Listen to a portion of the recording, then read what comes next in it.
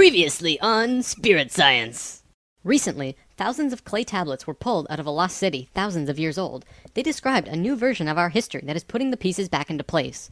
The continent of Atlantis was a thriving home for the human race, but we had visitors, one of which changed our evolutionary path forever.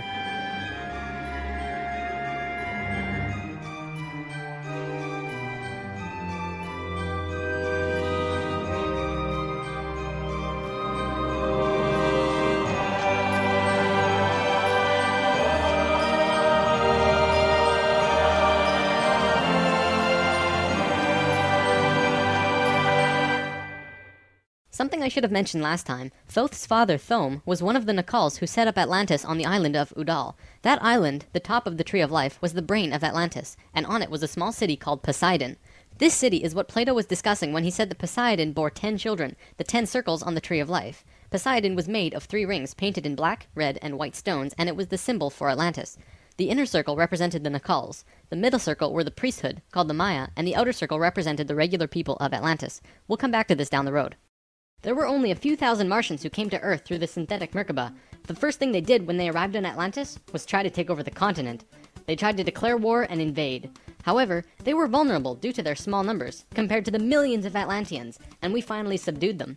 We were able to stop them from conquering us, but we could not send them back. When this happened on our evolutionary path, we now had the planetary consciousness of a 14 year old girl. The Martians were an incredibly male species and also very old. So what you had was a 14 year old girl being taken over by a 60 or 70 year old man. We had no choice in the matter. The Martians just stepped in and said, like it or not, we're here. They didn't care what we thought or felt about it. Really, it was no different from what the settlers of North America did to the Native Americans. Once the initial conflict was over, it was agreed that the Martians would try and understand this female thing they lacked. This emotional feeling, which they had none of at all. Things more or less settled for a while, but the Martians slowly began to implement their left brain technologies, which the Atlanteans knew nothing about.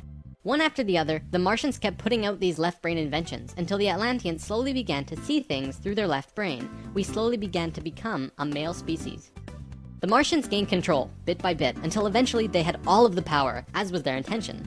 The animosity between Atlanteans and the Martians never subsided, not even till the end of Atlantis. They hated each other. The Atlanteans were shoved down and treated like inferiors. It was like a marriage that the female component didn't like, but the male component didn't really care if she liked it or not. It remained this way for a very long time, until about 26,000 years ago, when the next phase slowly began. Before we continue, we have to talk about polar shifts. See, in the 1930s, Edgar Cayce was channeling information for a geologist when he stopped and he said, There's something you should know. In the near future, the Earth's poles are going to shift. Cayce was a brilliant man with a very strong connection to higher dimensions, where he communicated with other beings for the human race. Ultimately, it was because of his channelings that the belief system called New Age was created. This is again just putting what he was doing into boxes of understanding, because no one else understood what he was doing at that time. Nevertheless, when Cayce talked, people listened. Geologists began exploring the possibility of a polar shift, and they found something remarkable. A string of major pieces of evidence came forth and lent tremendous weight to what Cayce was saying, and they have now changed the world's view on the subject. Scientists believed that if there was going to be a physical pole shift, there would also be a change in the magnetic poles. Through studying lava beds, geologists were able to see where the planetary magnetics were when the lava beds hardened at certain depths. They found that the earlier magnetic poles were not where they were now, but in Hawaii. The last shift that took place was 13,000 years ago, and we will get there in the story soon. They did another test and found that it had shifted again 26,000 years ago as well. Scientists also learned that polar shifts happen very quickly. In a single day, the magnetics would do a complete flip, or turn 90 degrees. There's that number again. And within 24 hours, the sun would be rising differently than it did the previous day. This shift has happened hundreds of times over the last 100 million years on Earth, but it's speeding up now and happening faster and faster. Now only 13,000 years between each shift. A whole new viewpoint is beginning to be understood. From space, would this not appear as a pulse? Now, there's a lot more to talk about with polar shifts, but I'm going to give you the basics and provide sources if you want to learn more. A scientist named Charles Hapgood was studying this at great detail because the leading theory behind what caused polar shifts was still underdeveloped at the time. He came up with a theory that demonstrated to be possible through various experiments. Through these experiments, they learned that the surface of the Earth, the crust, could slip over the main mass of the Earth, which continues its rotation as if nothing happened.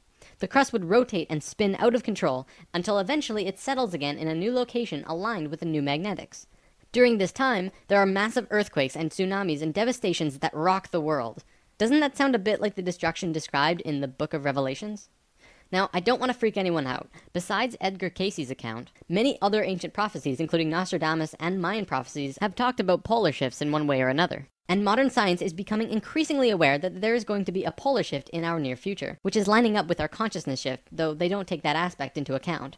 It's funny actually. A while back, Nova did two reports on polar shifts, and both times NASA shut them down. Then recently, Nova released a new video, which I showed you a little bit of last time called Earth's Magnetic Storm. That video shows all of the evidence for pole shifts without actually using the words pole shift.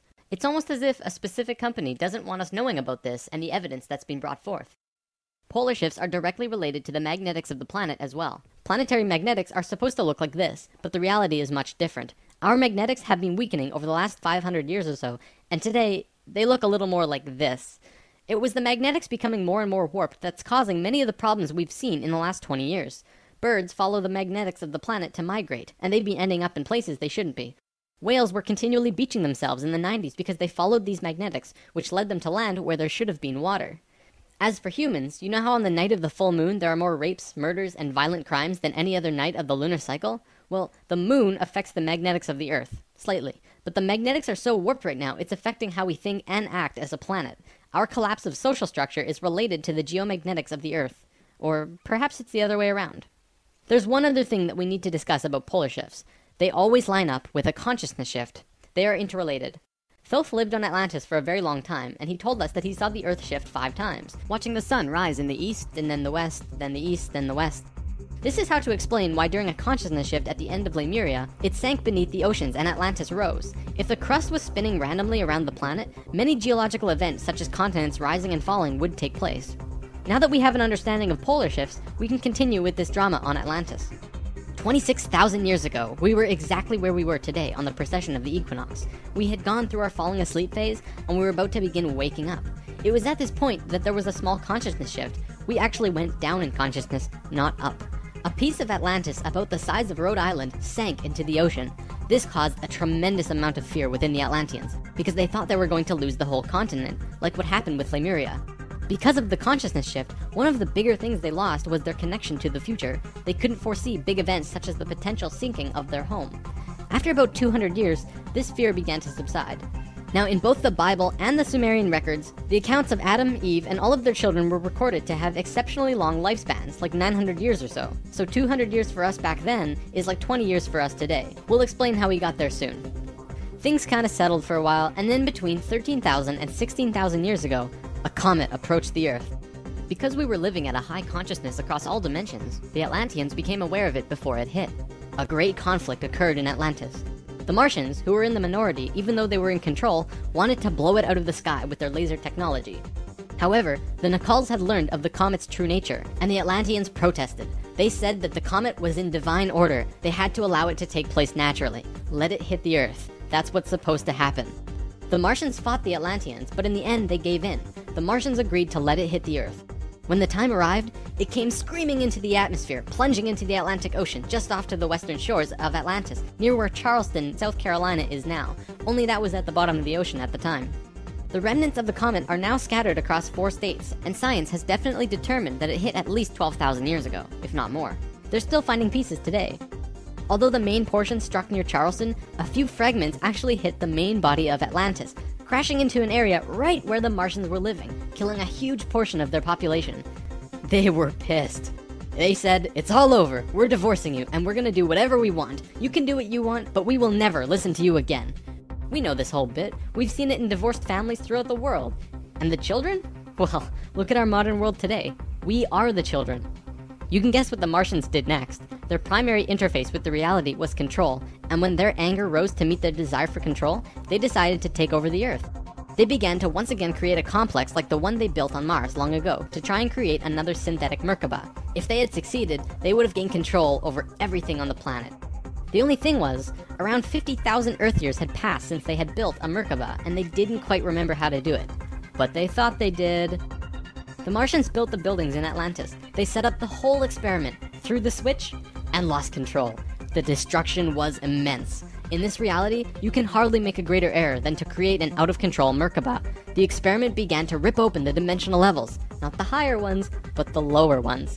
To give an analogy, if you took a knife and slit open your stomach, the stomach acids would seep into other parts of the body that it's not supposed to be in. That's like ripping open the dimensions. The Martians almost destroyed the Earth. The environmental disaster we are experiencing today is nothing in comparison, though today's disasters are a direct result of these events. Because of this tear in the dimensional levels, a huge number of lower dimensional spirits and beings were thrown out of their comfort zone and into these higher levels. They were forced into a world that they did not know or understand. To survive, they needed bodies and began automatically entering into the bodies of people. For every human body, there were hundreds of lower dimensional spirits inhabiting them. These beings were earthlings, like us, but very different, not coming from this dimension.